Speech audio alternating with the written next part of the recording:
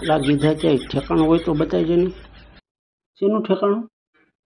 આ દેવલાને નિયમ વરાવવો પડે. બાપા તમે તો મોટા માણસ કહેવાય ગામમાં. કાંઈક કાંઈક ઠેકાણું કહેવાય તો તમે કહેવાય. તમારા છોકરાનું ન થાય. અમારા નાના માણાને તો હું?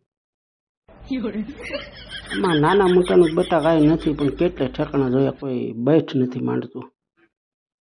બેઠ નથી માંડતું એમને હમ. ખેતીનું નામ પડે ને ભાગે.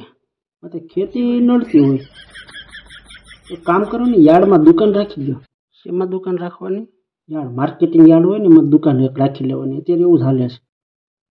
છોકરાને જોવા આવે ને દેવલાને. કહી દેવાનું યાર્ડમાં દુકાન છે એમ. પણ અહીંયા દુકાને બેહે કોણ? દેવલો જ બેહે ને, બીજું કોણ બેહે? ત્યાં દુકાનમાં કાંઈ કરવાનું ન હોય દુકાનનું સ્પેશિયલ એવી દુકાન હોય છે યાર્ડમાં. સંબંધ માટે એ લોકો ભાડે આપે એક વરસ પૂરતું દેવલાલને ત્યાં વરદી બેહવાનું. લગન બગન થઈ જાય. પાંચ છ મહિના માથે વહી જાય ત્યાં સુધી બેહવાનું. અને સંબંધ ટાઈમે જોવા આવે તો એમ કહેવાનું કે છોકરાની યાર્ડમાં દુકાન છે. અને ત્યાં દુકાનની અંદર સોનાના કોથળા રાખી દેવાના.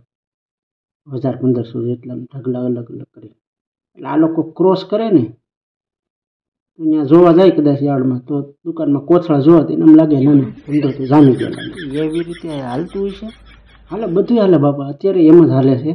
અમારા પવલાનું એમ જ ગોઠવણું ને. તૂટી ગયા જતા ઠેકાણે ગોતી ગોતી. પગરખા ઘાઈ ગયા પણ દુકાન રાખી બીજા મહિને સંબંધ થઈ ગયો તો લગ્ન થઈ ગયા. પાંચ છ મહિના રાખશે.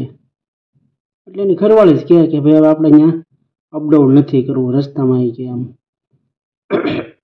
વાહન લઈ જવાનું. આવવાનું કરતાં ઘરની ખેતી છે.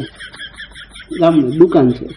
હાકોની એમ કહે એટલે પાવલો એ દુકાન પછી પૂજા છે અહીંયા. આમ જ કરે. બટા એ શું તારું હમ.